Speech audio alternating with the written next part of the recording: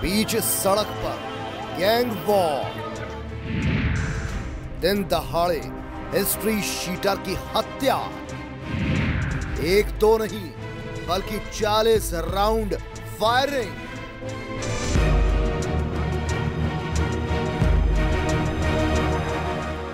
गोलियों की तड़तड़ाहट से उत्तरी दिल्ली का नरेला इलाका गूंज उठा। दिन दहाड़े हिस्ट्री शीटर वीरेंद्र मान उर्फ़ काला को गोलियों से भून दिया गया। बताया जा रहा है कि लामपुर मोड़ के पास हमलावरों ने पहले उसकी गाड़ी को ओवरटेक कर कार को रोक दिया। इससे पहले वीरेंद्र कुछ समझ पाता, उस पर अंधाधुंध फायरिंग शुरू कर दी गई। ताबड़तोड़ फायरिंग में वीरेंद्र को करीब 20 से 25 गोलियाँ लगी। और उसने मौके पर ही दम तोड़ दिया। आए और गाड़ी यहीं पे खड़ी हुई थी लामपुर रोड पे। और आते बस फायरिंग चालू कर दी उन्होंने। आपको पता चला किसको गोली मारी थी कौन थी जिनको गोलियाँ लगी थी?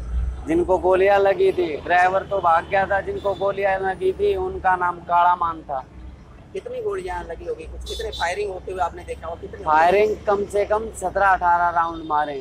पेशेंट लगभग 47 ईयर ओल्ड वीरेंद्र मान करके पेशेंट लगभग 11 बजे हमारे पास आया था कैजुअलिटी में, जिसकी बॉडी पे कई मल्टीपल इंजरीज थी probably gun shot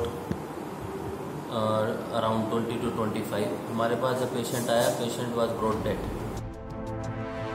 Virendra की गाड़ी चला रहा ड्राइवर तो किसी तरह अपनी जान बचाकर भाग गया। बताया ये भी जा रहा है। कि वीरेंद्र पर दिल्ली के कई थानों में तेरह मामले दर्ज थे।